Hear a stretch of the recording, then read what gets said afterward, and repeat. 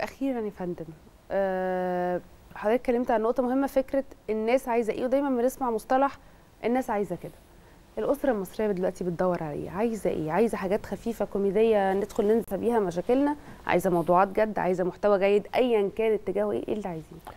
بصي الأسرة المصرية محتاجة تشوف فيلم آه، يحقق لها المتعة وفي نفس الوقت آه، يكون آه، متوازن. يعني عاوز أقول إنه ليس صحيحا مسألة إن الجمهور عايز كده فأنا بقدم له اللي هو رايح له.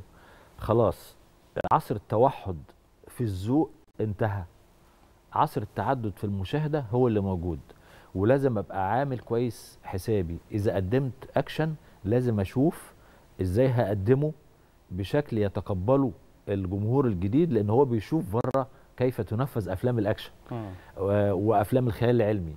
عشان ما أقعدش طبعا. آه يعني آه. شوفي المقارنة بقى في الصورة والمكياج والأداء والخدع والى آخره. فيا أنا قد اللعبة يا مش قدها. إلا إذا كان عندي قصة آه، آه، اجتماعية من صميم مجتمعي أنا هتوحد معاها فده هيخليني شوية آه، أبقى مش باصص قوي للمفردات الأخرى. ال ال طبعا الكوميدي هو مازال في اعتقاد عند النجوم إنه سيد الموقف. الكوميدي مطلوب طبعا لكن إحنا بننشد يعني. إنه يبقى في تنوع في السينما المصرية. عاوزين نشوف فيلم قوي يمثلنا مثلا في مهرجان كبير. إزاي ده مش متحقق؟ آه، ما نراه في المهرجانات الكبيرة وأنا بسافر آه، كانوا برلين بشوف نماذج اللي شباب. عنده أفكار كويسة قوي بس م- آه، آه، مفيش علاقة بينه وبين. الجمهور في مصر. لأنه مش لاقي فرصة مثلا. يعرض فيلمه مش لاقي منتج آه، كبير يحقق له مشاريعه. أرجو إنه المنتجين تخرج وتكتشف. طول عمر السينما المصرية بتكتشف مخرجين وبتكتشف نجوم وبتكتشف مؤلفين جدد. عشان العجلة تمشي. نور الشريف اكتشف سمير سيف اكتشف محمد النجار اكتشف محمد خان.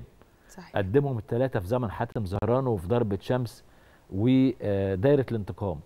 فين النجم اللي يقدر يكتشف مخرج جديد ويقدمه؟ بمواصفات وفكر. صحيح. المخرج وليس مواصفات وفكر. النجم لأنه آه لا السينما المصرية كانت ناجحة لما كانت ماشية بفكر المخرج بشكل موازي مع فكر النجم وليس فكر النجم وحده.